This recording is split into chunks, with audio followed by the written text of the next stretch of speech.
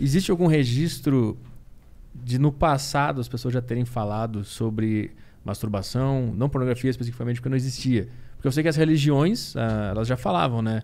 De uma forma mais moralista Sim, e sem sim, explicação sim. que é ruim se masturbar. Pecado, não? É pecado, exato. Então, alguma ideia do certo eles tinham. Sim.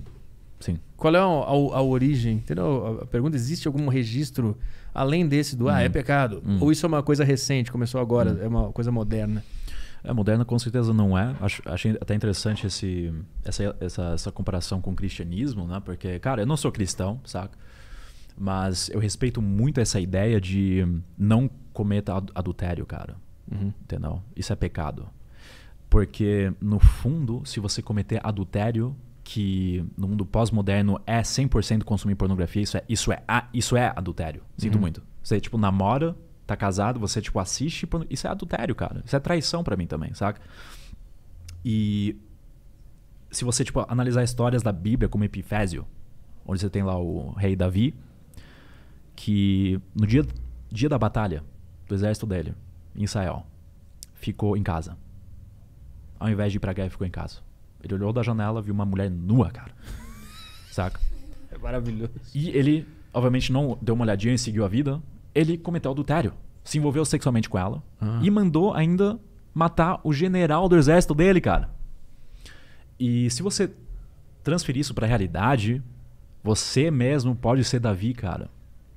E, lógico, não seja Davi. Você precisa ir pra batalha. Ou seja, você precisa seguir seu propósito e realizar seu trabalho. Senão, você vai cometer adultério, porque é o caminho mais fácil, cara. Você, anima você é um animal, você é um primata, você sente o desejo de reprodução e você precisa canalizar isso.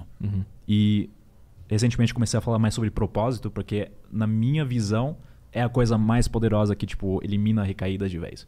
É você ter um propósito digno, nobre, Tem o que fazer. ter o que fazer. Não existe aquela frase? Tempo livre é a oficina do, di- do diabo. Por quê? Porque a sua mente foi feita pra te fuder, cara.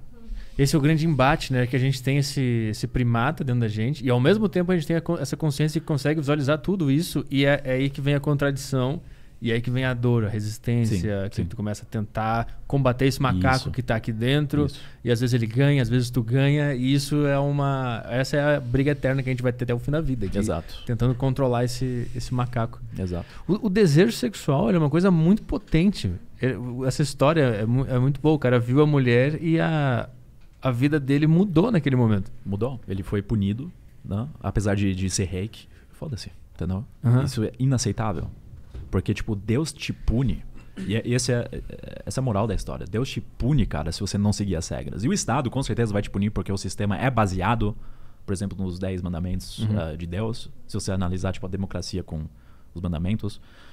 E essa é a consequência, então, cara. Você vai sofrer, saca?